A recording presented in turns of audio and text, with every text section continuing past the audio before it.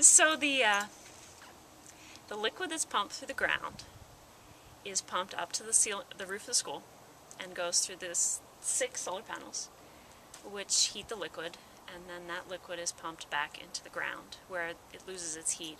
Well, it it puts its heat back into the ground, so that hopefully in the winter, when we're running the heat pump, we'll be pulling warmer liquid out of the ground to keep the heat pump going at a higher rate, efficiency. And why would you need to put heat back into the ground?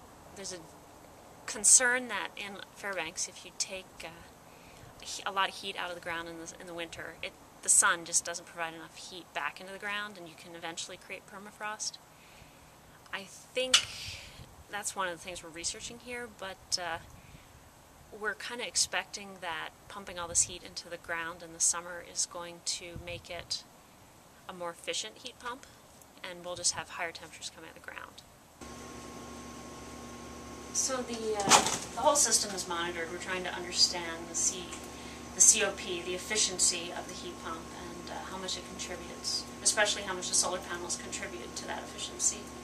So this, all this instrumentation right here, and actually you can look in here, is um, keeping track of what the heat pump is doing, the temperatures, how much flow is going through it, and this is just a little computer that's uh, sending the information to our office where we can keep track of the heat pump.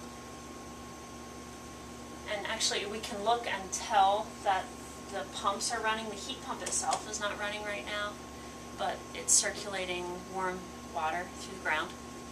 And it, this is telling me how the temperature that is coming out of the ground. It's 51 degrees coming out of the ground right now. This is going to tell me the temperature that's going to solar panels, 51 degrees, the same temperature is coming out of the ground and it's coming off the solar panels at 82 degrees.